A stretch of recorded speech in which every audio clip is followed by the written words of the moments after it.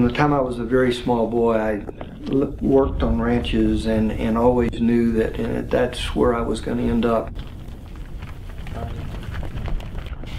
Well, my name is Bob Taylor. I live in Lonetree, Wyoming, and my goal here and one of my one of my dreams is to make this a sustainable cattle operation and also a sustainable lifestyle for my children and their children.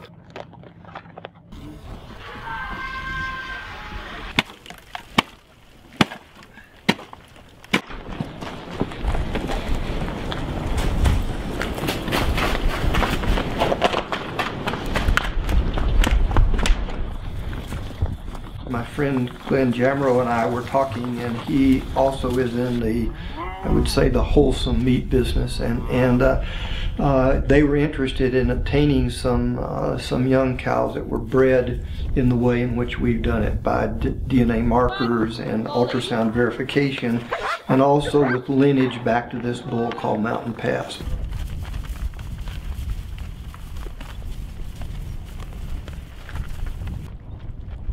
Today we've got them all down into the corral, and then in the morning we'll load them onto their trailer and they'll go to their new home. And hopefully they'll live a good, happy life down there.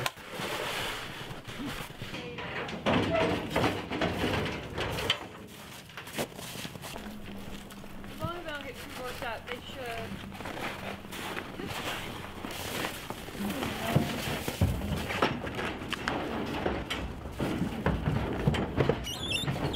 I had this uh, this this wonderful Filson coat that just became my uniform, and and at, at times because it wasn't lined, it, it it gets cold. It gets cold in Colorado. So for my birthday, um, Maggie took my mother's little mink stole down or mink cape, and had a tailor very carefully cut that out and line the inside of that coat because my mother had had her name sewn into the, the lining of that little mink stole. So right down there, I can look in there and I see, and there's my mother's name. My daughter Marisa's taken it over and it's not mine anymore, it's hers. That, that coat right there, 60 years. Uh, that's a long time for something to, to last each of us needs to find our own niche, and and uh, uh, we'll need somebody to um, manufacture clothing. We're going to need somebody to design jet airplanes. We need somebody that's going to grow our food, and um, that's kind of what we that's where we think our niche is is growing food.